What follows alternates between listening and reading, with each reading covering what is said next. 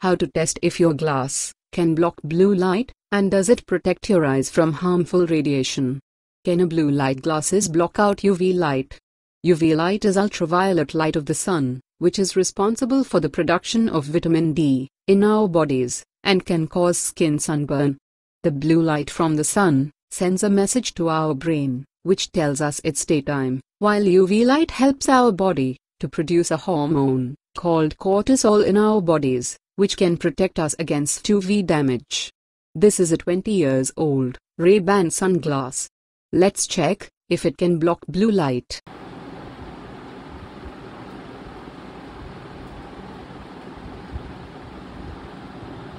As you can see blue light passes through this Ray-Ban glass, because outdoor natural blue light is essential for good health. Sunglass of good brand does not block blue light, as it is required by our body for many purposes during daytime.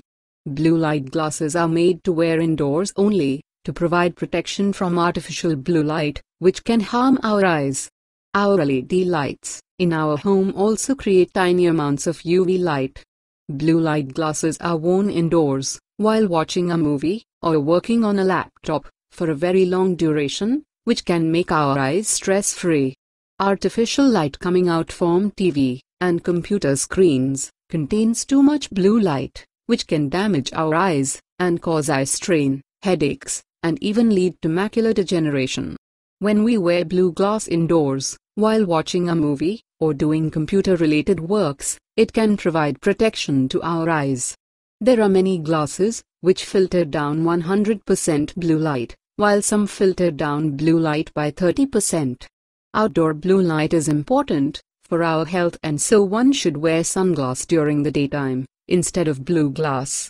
Blue glass helps in filtering the artificial blue light which comes out from TVs, computers, and mobiles, and UV light is not present indoors and not produced by our artificial light sources. We can also test our blue glasses if it can block artificial blue light coming from artificial light sources by purchasing a test card from the market. When we directly put the blue light source on the testing paper, a purple mark will be formed on the paper and will disappear after a few seconds. This is test to see what kind of glasses are manufactured by different brands for different purposes and should be used according for that purposes only or else it may lead to harmful side effects.